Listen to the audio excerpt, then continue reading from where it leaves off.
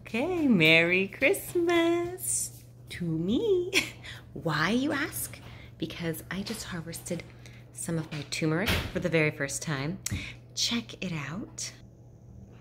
Look at that behemoth of turmeric. Oh, that is gorgeous. You want to know what's amazing about this too? Look at this piece right here. I'm just to pull it right off. This is like, I don't know what you call it, like the mother piece that I originally grew all of this from. Dude, that's amazing from that little guy. Yeah, he's toast, but look at what it left me. That's amazing. I just couldn't be more thrilled. And I actually have more in my garden. This is my biggest one though. And that's really probably more than I can use. So I'm gonna have to share some with the neighbors. So that was awesome. Merry Christmas gift number one. Merry Christmas gift number two is my ginger. So let's look at that.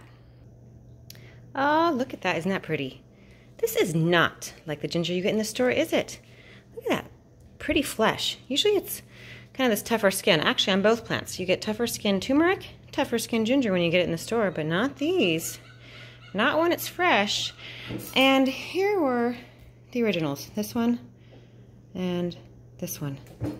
They gave me all this. So Obviously the bigger one probably came from here. And this is just one all whole piece that grew together. And then these actually, both of these came from that smaller one. So that's a pretty good yield. And then look at the pretty leaves. I'm going to make some ginger tea out of these. Shall we go look at my garden? Yes, we shall. Let me take you out there.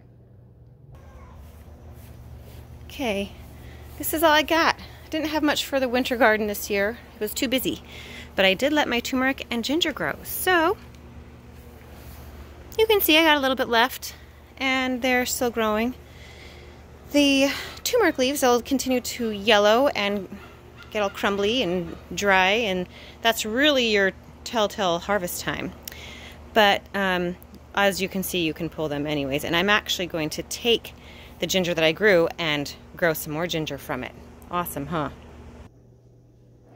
So as I said, I'm going to take the turmeric that I've already grown and grow some more plants with it for this next season. And you can see each of these little spots right there, there, there. These will all develop shoots if I plant them. So I can just take, just pluck one of these off and go ahead and plant it, which I'm going to do. I'm going to do that also with some of my ginger I don't have quite as much ginger, but I'll still go ahead and use what I have, grow some more plants. Um, but you can see these little points there, there, that's gonna grow some more shoots and you'll get some nice stalks and they will keep spreading. So, et voila. I'm super excited. I hope you enjoyed the video. If you have any questions, ask in the comments below.